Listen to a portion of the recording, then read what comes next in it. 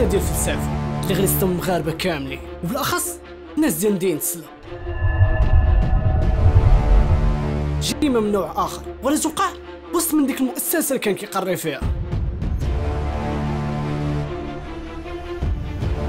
في لحظة خوف غادي توقع أغرب قضية وقعت في المغرب.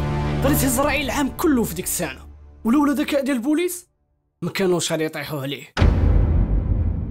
الصباح ديال نهار اثنين الحارس ديال ديك المؤسسة ولا داعي لديك الاسم ديالها؟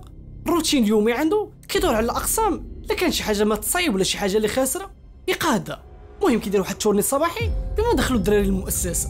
وصل الفيسير ديال البلاصه اللي كيديروا فيها الرياضة. حل الباب وكان مازال الظلام. وديك البلاصة ما فيهاش الضوء. كتبان لي شي حاجة معلقة وبالبيض. كيقول ويلي شنو هي هادي واش طاب لي هذا شي دريه ناسيه تما ولا كيفاش؟ ولكن هذا فيسير ديال الدراري اش دير هنايا. لا لا لا. كيبان لي شي جاكيطه ديال شي دري ناسيه تما. خليتيه يجي لها على خاطر. سد الباب وخرج بحالاته ضرب واحد المسافة. وقف وشد من راسه وسكات. قال والله تمشي نشوف شنو هو داكشي. رجع حل الباب. وشوف غادي بشوية. وشاد من الحيط لأنه كان ظلام في داك البيت. ما حدو كيقرب قلبو كيضرب. كيزيد يقرب كيزيد قلبو كيضرب. وصل حدا شاف فيها عيني خرجوا. تم غادي كيجري. جريه وحده دار المدير. كيدق في الباب ويقول ما دقيت. خرج المدير شد مركبي وكيلات. كيبغي يدوي النفس ما كتخليهش يدوي. نفسه ما قدرش يطلعها المدير ما فهم والو في الصباح. ولا كيقول لي اش كاين المعطي تقول لي اش كاين اش كاين المعطي اش كاين معطي قال لي درية معلقة درية منتحرة فين كيبدلوا الدراري حوايجهم؟ مشاو كيجريو؟ حل الباب مدير من عاد الباب واقف. كيشوف قلبو كيضرب. ما عمرو شاف داك المنظر. داكشي كيخلع. درية معلقة في الدوش. وجهها كيشوف الحيط. سد الباب ورجع البيرو عنده عيط على البوليس. وفي قل من ساعة غادي تنوض روينه في ديك البلاصة. المدرسة تسدات حتى واحد ما بقى دخل. وصل العميد إبراهيم اللي غادي يتكلم في ديك القضية. بدا كيفحص في الدرية. لعل وعسى لقى شي وثيقه كتبين الهوية ديال الدرية. إذا به كيلقى واحد الورقة مطوية. ومخشيه في الجيب فوق ديال الطابلية. ومكشوف فيها. المهم تسمحي لي. راني درت واحد الفضيحة وما قدرتش نواجه. وقررت تسالي حياتي بهذه الطريقة. ونتراقب. المهم تعطات اوامر باللي مكلف بالتصوير يصور دريم كاع الزوايا. ويهبطوه من القنبة بشوية لأن القنبة تدرس هي من بعد. جمعوا ديك الدلائل ودو الدريه باش يديروا عليها التشطيح العميد إبراهيم اللي مكلف ديك القضية ذكي. وغادي يمشي يقلب ديك القنبة اللي انتحرت بها الدريه كيلقى مجروحه شوية. يعني بحال شي واحد معلقة صح في الدوش؟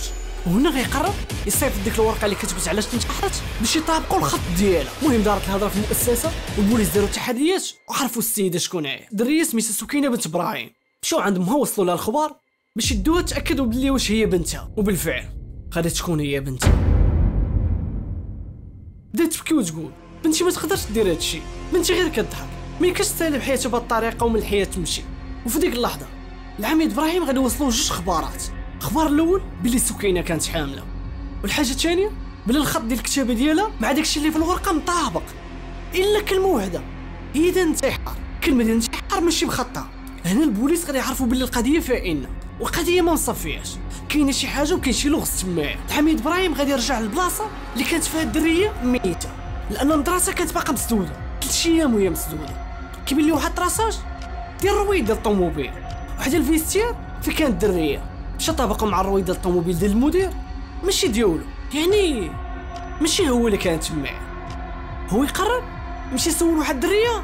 صحيبته استدعى الكوميسارية جات عنده دخلت البيرو وجلست. ويقول لها هاد الأواني الأخيرة شبان لك في السكينه جاوباتو صاحبتها فرح قالت لي بلي هاد الأواني الأخيرة كانت مخيرة شوية. بقات ساكتة. بحال كانت باغا تقول شي حاجة. ويقول لها العميد إبراهيم كنتي عارفة حاملة ياك؟ ويتنقص فرح بلا ما تشعر وهي تقول لي دارها ها دارها غادي يكون هو السبب بسالات حياته غيكون هو اللي دارها ويقول الحميد شكون هو هذا؟ على من كدوي؟ قالت لي بلي كانت كتكون مع الأستاذ ديال الفلسفة اللي كان كيقرينا. وكانت كدير عنده حصص ديال الدعم كتزيد عنده السوايع. وبلي ديما كانت كتقول لي راها معجبة به. وبغي يزوج به ولكن عنده سبب واحد هو أنه مزوج. داكشي علاش كان كيتماطل وهنايا غادي يبان البوليس la piste اللي غادي يشدوا عليه الطريق. وأول حاجة غادي يديروا قبل ما يستدعيو هي غيمشيو يطابقوا la trace ديال الرويضة مع الرويضة الطوموبيلة ديالو وكيلقاوهم نفسهم. وهنا غادي يتم الاعتقال ديالو. باش يتم معاه التحقيق وليني والو ما بغاش يقر. وكان كيتملص من داكشي. كان كيقول لهم أنا كتقرأ عندي وكتزيد عندي السوايع ولكن راه ما بيني وبينه والو. ولكن الروح عزيزة عند الله.